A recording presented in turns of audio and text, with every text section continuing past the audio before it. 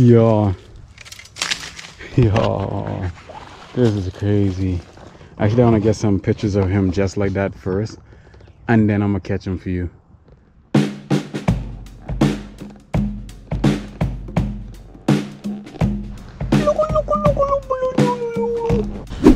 What's going on, Adventure Gang? My name is Denzel Pratt, and you're watching another episode of Mandora Explorer. So today, I have a little mission that I want to try out for the first time ever. As you can see right now, I have my fishing rod. I got a little reel, one reel, one one rod, and I got my snake hook.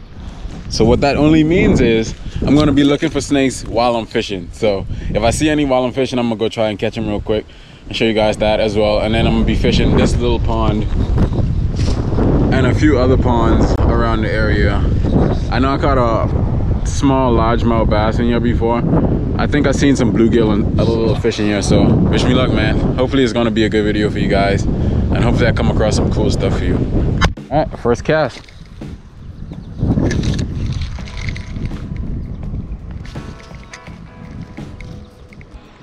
I had one little bluegill just chase it just now right there, but he didn't commit to it. It's a lot of little um, green algae growing in here, so I'm gonna expect a lot of that to be coming on my line too.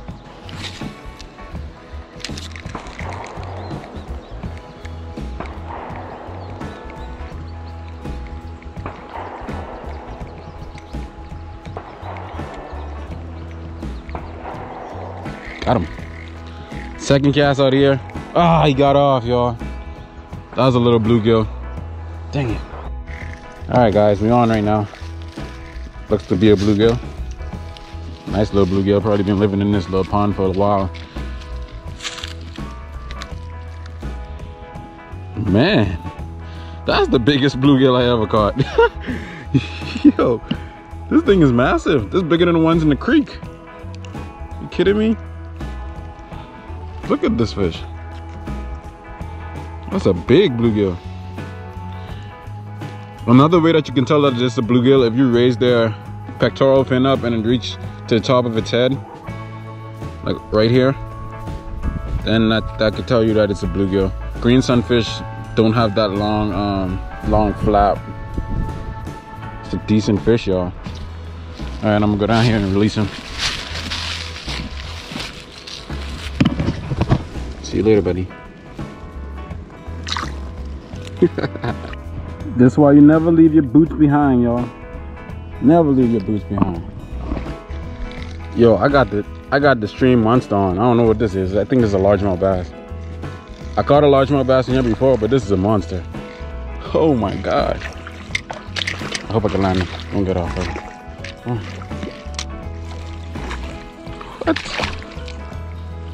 What? what? What? Bro This is like a two pound boy. I'm gonna I'm gonna take him over there so I can measure him real quick. Yo, in a in a little pond. Look at this. I got the pond master. Oh my god. What I did was I took a little worm that I found and I put it at the end of my bait and that seemed to work. I threw it right in that little short grass over there and got this guy to attack it so that's crazy i'm gonna measure him out real quick i'm trying to get back in the water fast. Got the creek master man. Well not the creek but the pond master. Look at that. Chunky little boy. Mad I left my bag all the way over here. Let me get a quick measurement of this guy. All right, guys. So the official weight is 1.5 pounds, but uh, get a measurement real quick on this guy. 14 inches. It's nice. So I'm about to release this big boy back in to his pond. Let me never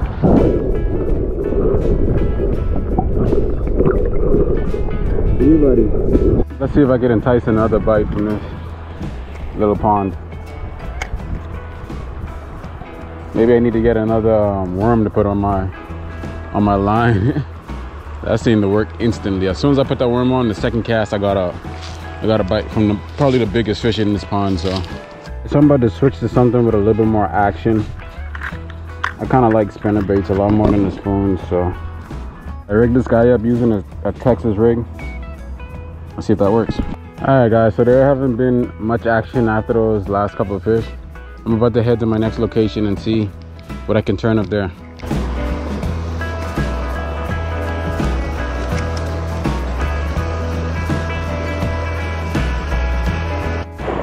Yo, y'all wouldn't believe this. oh my gosh, yo.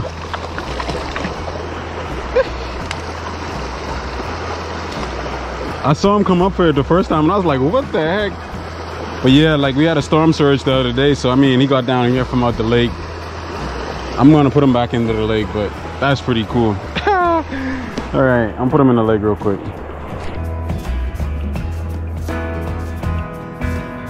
Fish are super.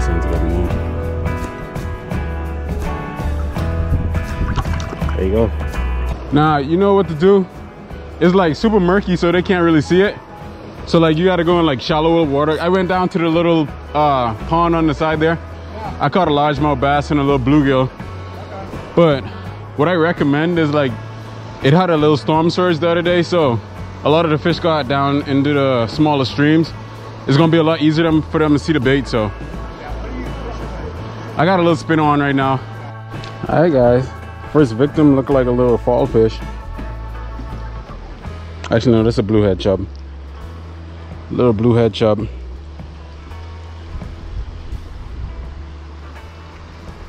Okay. So I'm walking through the woods trying to get to the next pond to fish. Um, I'm using Google Maps and we got our first live actually no it's my second live box turtle.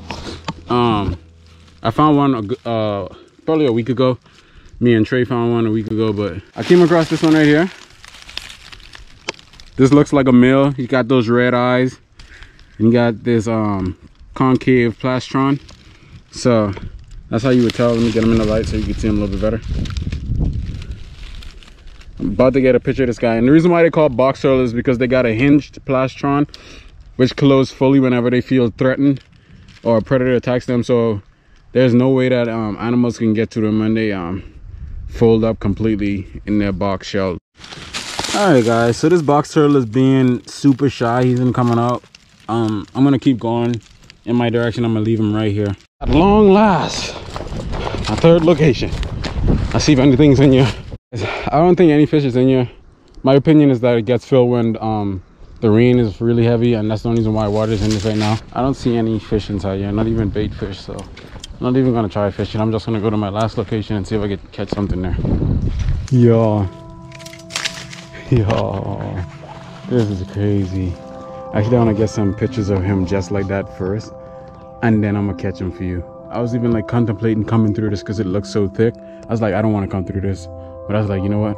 I'm gonna go get through it and get to my last location. But look at that little rough green snake, man. I'm gonna get him real quick. I'm gonna get some pictures and then I'm gonna pick him up. All right, guys. So I got all the pictures I wanted of this little rough green snake. I'm about to catch him. that was easier than I thought. Yo, this is so cool, man. Look at this little guy give you guys a good look at them. That's so dope. All right, so it's two species of green snakes here in Virginia. There's a rough green snake and a smooth green snake. The only difference is that the rough green snake is a little bit more slender and it has um, keeled scales so that it has more rough appearance than the smooth green snakes. And the smooth green snakes um, look a little bit thicker. So that's the two ways that you can actually tell.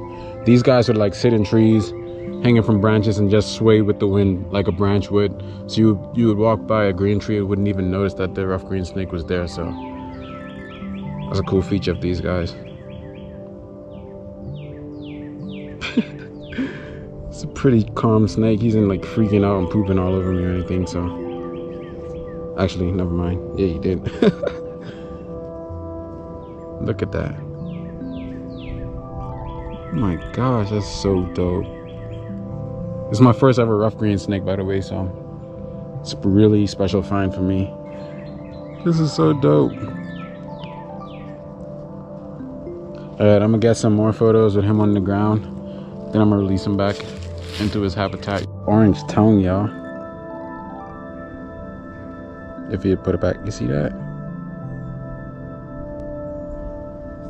Look at the color underneath him too. It's like super pretty. Fine specimen, man. Alright, I'm gonna try to get him settled down for pictures and then let him go. Alright guys, so I got all the pictures I wanted of this little rough green snake. I'm about to release him back onto his branch that I found him on. Look at this guy's demeanor, man.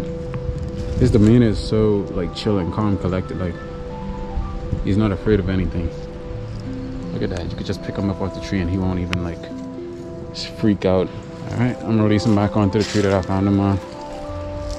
And then I'm be gone. See you later, buddy.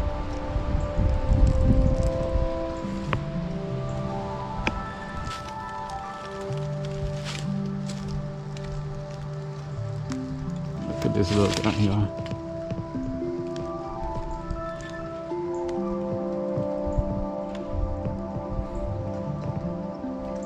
Hello, buddy. Catch you later. Live long. Hey, your cousins, I'm here. So my first question today is, what's the difference between rough green snakes and smooth green snakes? On this power line strip is a really good area to find box turtles. They like grassy areas where they could like build their little homes and sit in. So maybe I might find a couple of box turtles.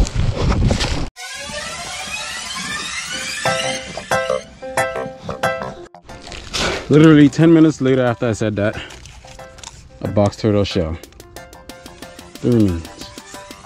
Like, this is a trend right now. You're always finding the remains of turtles. Just flip this beautiful male eastern fence lizard underneath this little thing right here. Beautiful, stunning looking one, man. See that rough keel um, appearance on those scales? And you could also see that blue underneath the neck right there Little wavy pattern on the back.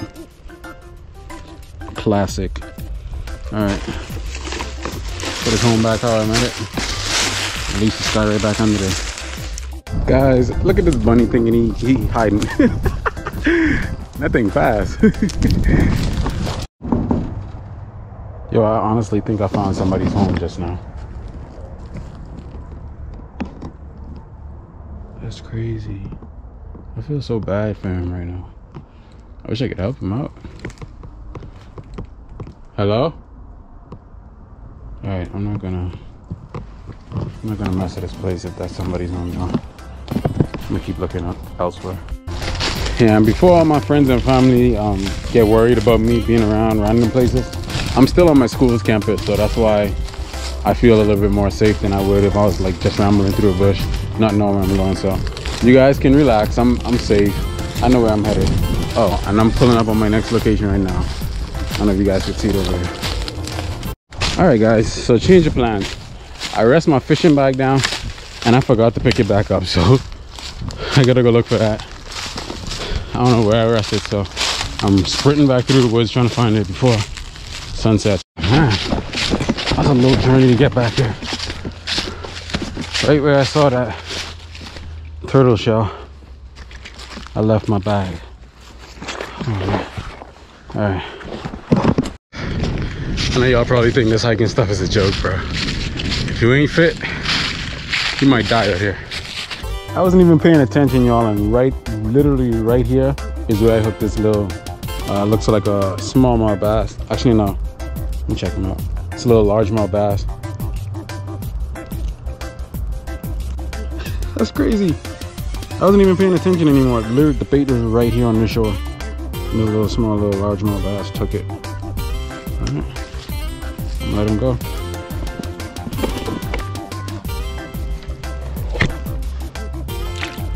Bye, buddy. Alright, Adventure Gang. So I really thought this pond would skunk me, but I caught one little small largemouth bass in here. I'm gonna fish for a little more. Hopefully I catch something if I don't. Thank you guys for watching, man. I really appreciate all you guys' support. Like, share, and subscribe.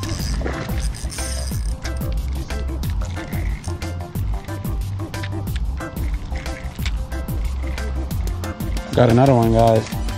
He slammed it right at the shore again. the largemouth bass. This guy's hooked pretty good. Alright. Time for release. Bye, buddy.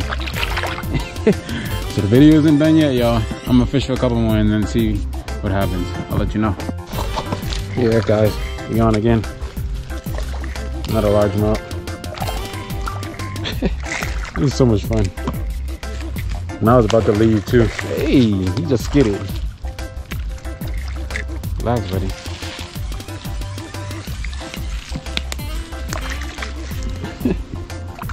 That's so cool.